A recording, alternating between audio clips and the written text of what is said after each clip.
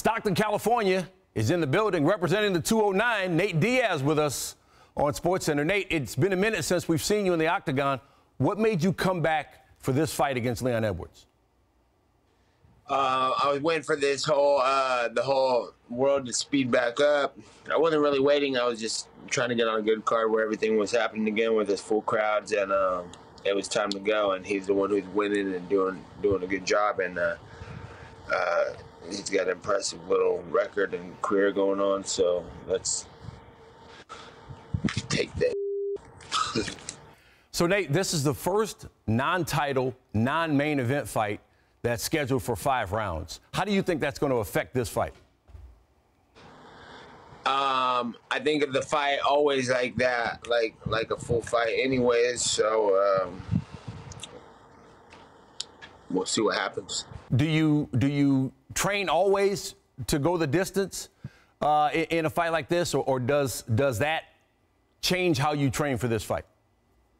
No, I train to take take the person out the whole the whole fight whenever I can. Uh, uh, the distance, I, I always prep to get to uh, be ready for that too, and um, we'll see what happens. Edwards is unbeaten since 2015. As you said, he's an up and comer in the welterweight division. He's got his eyes on the title shot. He says he doesn't need to just beat you, he needs to stop you in order to make a statement that he deserves the title shot. Your response? Um, yeah, I agree with him. But when you hear a guy say, I'm going to stop him, given your history, how do you react to that? That's what he should say. That's what they all say. And um, I should stop him too. that's what everybody should do. So I'm ready. I'm ready to uh, get out of fight camp, get here, and get the job done. And that's my that's my plan. That's my objective. And uh, hopefully, hopefully, it all goes well for me. That, that's that's what I'm coming with, though. He's a more natural welterweight. Uh, probably on, on Saturday, he's going to enter the octagon, the bigger man. How do you counter that? Uh, I'm bigger than him. Even with this layoff since, since 2019, you've kept a, a, really rabid fan base. I mean, there are a lot of people eager and excited to see you get back into the octagon. What, what do you think is the reason for that? Because because I mean nobody's doing anything this whole career. Everybody's playing what they should be and doing what they're told and acting like little little uh, uh, what is it called when uh, they're acting like who uh, uh, have jobs. This fight fight career is not a job.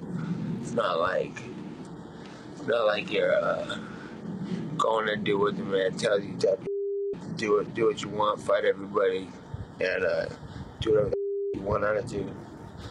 That's all I'm thinking. I don't know. But what is, what is it about your style in the octagon that you think resonates so much with the fans?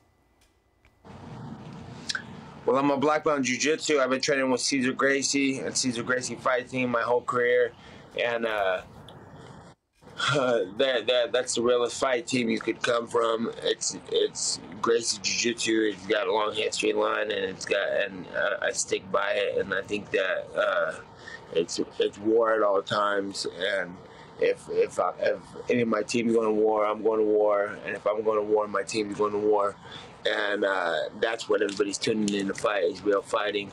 And uh, besides that, I'm a I got a boxing coach who trains professional boxers, and uh, I do I do the best of the best in, in every aspect. I got kickboxing training partners and everybody else. Like I said, they play by the book and they, do what they're told and they act a certain way, the way they're supposed to act, and they talk the way they're supposed to talk or think they're supposed to talk but uh, I think that's what keeps everybody uh, attracted to the to the to whatever whatever you're you're saying they're attracted to. It's a, the realness and the real fight game, and that's that's what I am, and that's what my whole team is. And I don't think that's gonna go anywhere as long as I uh, just keep doing what we do here. You're such a crowd favorite that if you win this fight Saturday, there'll be probably some options for you. What interests you more? Another fight with McGregor, uh, the unfinished business with Masvidal, or maybe a title shot at Kamaru Usman? What what would interest you more? Uh, all those sound great, and they're all they're all different options, good options. But uh, I, every single day I got I got new um, new motivation. So we'll see what happens after the fight. I saw a website with predictions on the on the fight, you versus Edwards, and it, it, other fighters making predictions, and almost to a man, they all said, "Listen, I love Nate Diaz, love what he means to our sport, but I got to go with Edwards." Why are they wrong, Nate? Well, that's a that's a that's been my whole career is like that. And if you, if any of the fighters, to all the fighters out there, saying anything about me, if it's if it's not positive, is then shut the up and you. That's what I think about you. And um, that's how that's how my whole whole career has gone and been.